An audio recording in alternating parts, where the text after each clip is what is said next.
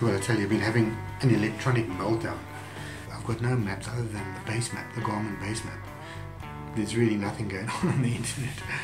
The GoPro, my GoPro battery lasted about two seconds and then that was flat.